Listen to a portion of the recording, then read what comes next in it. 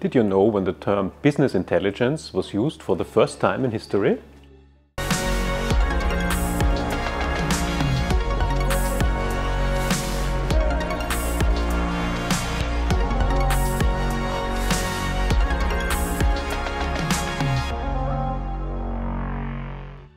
That was already in 1865, describing the method of a very successful banker gathering information and acting upon it much faster than his competitors.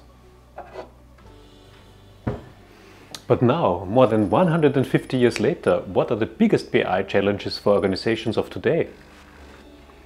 In almost any survey, among the top five challenges, you'll find the difficulty of analyzing data across multiple sources and unlocking the data buried in those systems. Power BI, with connectors to many different data sources, there certainly makes an excellent choice for delivering business intelligence within very short time. In this hands-on episode, Ricardo, our head of R&D, will explain how to use the HAKOM TSM Power BI connector to create business intelligence reports and gain relevant information from your time series data. Uh, hi, Ricardo. Hi, Stefan. Hi. Got a new Haskell. yes, working on it on the spare time. Great. So, um, how about our Power BI connector? Could you explain something about it? Yes. We have implemented a connector to HAKOM TSM as a native connector inside Power BI. And it's very easy. Let me show you. So TSM is listed among the databases that are supported by Power BI. There are a very large number of them, and here is HAKOM TSM, and we connect. In order to fetch the data, you have to enter the endpoint of the web service where the web TSM is hosted. So that's where our time series reside, actually. Yes, you just enter the URL and press OK. And the Power BI connector lists you the available repositories and for each repository, the available data sets.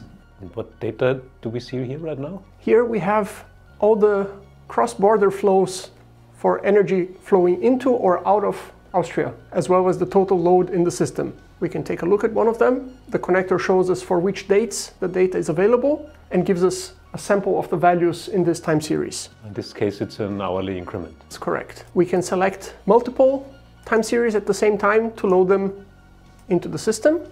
And if we look at the load, the load is provided in quarter hour increments.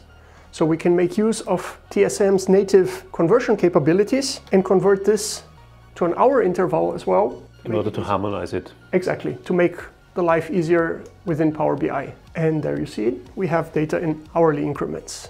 So we select all of them and press load to bring them into our report. So after the data has finished loaded, we see all the data sets in the available fields in our report. And uh, besides the, the, values, is there attributes and uh, um, anything else also available? Yes, so besides the timestamp and the value, the connector also makes available the TSM flag to depict the quality of the data. And in this case, we had a country attribute, which tells us which country or which border this data set relates to. Ah, okay, so that will make it possible to locate the data, actually. Exactly. And there's a very good way to do this by making use of Power BI's capability to integrate different data sources, and I'll show you how. We fetch additional data from a neat source called Data World. And Data World is a very neat repository of all different data sets. Population data, geography, coordinates, uh, industrial output from countries, any sort of data set is available in there. But that means we can connect the data coming from TSM database to basically any other data. Exactly. So here I'm selecting from the resource hub a location and population table, which will be one additional data set in our fields. Here we have a location table which has all different countries with latitude, longitude, geolocation, which we'll use to re georeference the borders from which the energy is coming from. Very good. So we can locate it on a map. Exactly. So now we have the relationships defined between the country attribute and the location table for all the data sets. And this makes it very easy to create a graph to depict where the flows are coming from or going to. We select the map. The map has, has different fields that we have to fill from our available data sets. For instance, latitude and longitude come here from the location table, latitude, longitude, and the size of the bubble will come from the value of our flow data set. So here we already see which countries are involved, as we would expect all the countries that Austria has a border to. Now we see they're all of different sizes, but all of the same color. To make it easier to identify if the flow is positive or negative, we can make use of the controls that we have available in Power BI, and that's the data color. And we can select a different function for the color and say instead of using the latitude and longitude, we want to use the value. We want the lowest value to be red and the highest value to be blue with a nice rainbow color scheme, for instance. Now we can see the flow and that Austria is producing and the other countries are probably uh, exporting energy. But to understand this a bit better, we can also zoom in on particular dates. And that's also very easy if we make use of a slicer. A slicer is a control in Power BI that allows us to filter for specific values of any of the values in the data sets. So here we'll select the from, which is the timestamp, and we see we have data from the end of 2019 to the current date in 2021. So we can select here a specific date and we should see a little bit how these bubbles change in size, not very much.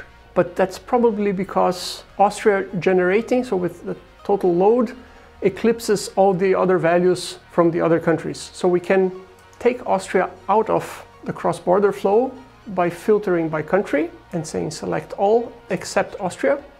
And we automatically see how the colors change to show who is importing. Here we have a negative value, here we have positive values. Now we took Austria out, but we still want to see the information from Austria, maybe in the form of the actual time series or the current profile.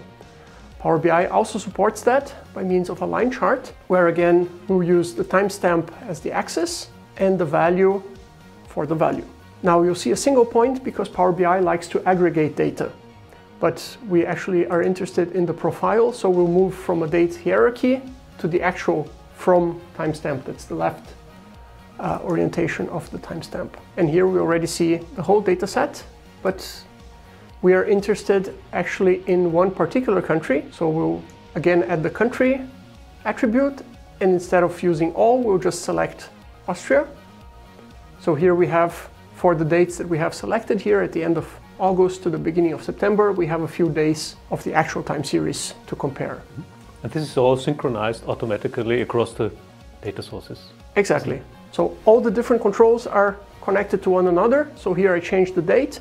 We see that the colors uh, representing the size of the, or the quantity that has flown from or to uh, across the borders changes and also the period that we're zooming in here is equivalently adjusted. So all of them are interconnected by virtue of these relationships. Great. And you can do this with any other data set that you bring in as long as you define the appropriate relationships. Very good. And uh, how about performance? I mean, TSM is known for very good performance. Um, can we make use of this in Power BI? Absolutely. As we see here, we're looking at just over a week of data. But if we, if we, if we expand this range to the entire data set, fetching data from TSM is extremely fast. And here we have already more than a year worth of data in quarter hour or in hourly resolution. And it didn't take more than a few seconds. Great, Ricardo. And uh, what if we want to calculate some more information coming from this time series? For example, the net production of Austria um, within that period? So for this, we can go back to TSM. And in TSM, in fact, we already have uh, a net sum of the flows and the load in Austria, which is a formal uh, formula time series defined as the sum of all the other ones. Okay. And you'll see here net sum flows and load. Now we can load this time series just as a normal data time series. Formula time series are also supported by the Power BI connector. So that wouldn't make any difference for Power It's handled exactly the same way. Very good. Let me show you. We go back to Power BI and again we go and fetch data from TSM. We select database, HAKOM TSM. We again have to enter the same repository that we were using before. So here we have the formula time series displayed as well. And we see that the values are listed just in the same way mm -hmm. as a normal time And series. you wouldn't notice that is. It doesn't notice, it doesn't know that it's a formula calculated in the background. This way we can add it to our available fields, just like any other data set. Now we have the net sum of flows and load as an additional field in our dashboard. And you'll see it has the same structure as any other data set that we can bring in. Now we could take the net value and overlay it on top of our profile visualization to see how they compare.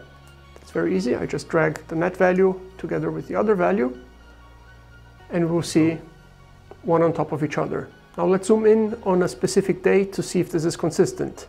For instance here, somewhere in July, we see our net formula time series is predominantly above the load.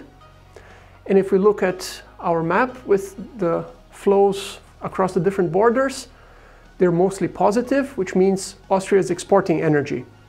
And this is consistent with what we see here. We see that the production, which would be the, the formula that we computed, is mostly the entire period above the load. Great. So you can get a comprehensive overview just within seconds and can zoom in, zoom out, and use the performance of the time series manager. Exactly. Well, thanks, Ricardo. That's exactly what we wanted to show uh, how to gain a relevant insight from uh, time series data. Um, so the format is called hands-on. So how do I get hands-on uh, this uh, Power BI connector? That's a very good question. What I've just shown you is a preview, and this will be shipping in one of the upcoming releases of TSM. Stay tuned. Very good. If you like today's session, please give us a like and subscribe to our YouTube channel. Also, please check out our website and follow us on LinkedIn and Twitter. And do not forget, life is a time series.